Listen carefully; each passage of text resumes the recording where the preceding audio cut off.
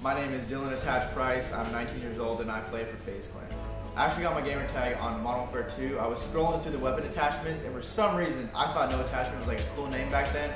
I was like 13 so uh, don't give me too much to hate but I thought no attachment was cool and I figured once I went pro and became one of the best players that ever was, I was to have to shorten it down to attach to just make it easier. I started playing Call of Duty when I was about 10 or 11 years old and I've just been playing ever since. But I didn't really start seriously competing until I was about 15 or 16 in Modern Warfare 2 and, or Modern Warfare 3 and Black Ops 2.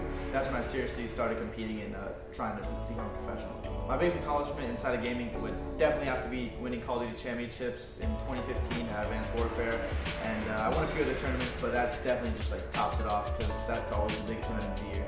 My gaming idol. Oh, this is crazy. Uh, so, back in COD 4, a few guys on Envy, Fear, Optic, like all those teams that were just dominant back then. I was used to watch them play. IXI, they were all just dominant back then. COD 4, Black Ops 1 days. It was just really fun watching them, and I just uh, would spectate events, go to events, watch them.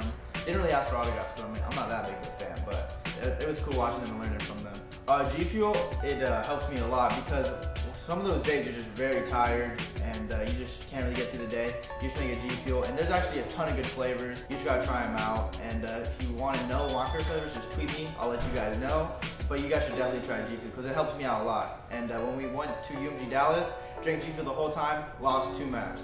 Easiest event ever. I'm most excited for obviously all the tournaments coming up, Call of Duty Championships, of course. Maybe I can get a two-peat. We'll see two rings. Would be pretty dope. But my favorite game outside of Call of Duty would probably have to be Halo, because that's just the most recent game I play. I really don't play too many games besides Call of Duty. I'm just on call all day.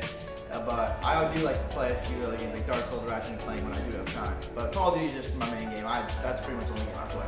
Aside from gaming, what do I do? Well, uh, took a break off school, so no school right now. But I just like to hang out with friends, go to the gym a little bit here and there, and uh, just really just hang out and then play games. I mean, I don't really do as much else besides gaming. If I were to change my gamer tag, what would I change it to? That is probably the hardest question I'll ever be asked in my life. Coming up with a gamer tag, if you guys have before, it's not easy at all. It's it's impossible. It really is impossible to come up with a gamer tag. You just have to get lucky or have like a random thought one day. So if I change like anything, wow, that's actually really tough. Dude, I honestly don't know. I'll change it back to no attachment. Or no, no, no. I'm going back to my old days, like Modern Warfare 3. I'm going back to Dinero Dylan. That gamer tag was money. My clutches play that I've ever had, it didn't really have too much importance in the match, but I actually clutched a one versus four against EnVyUs at the Columbus Open at the first event in AW. Clutched a one v four on main stage versus them.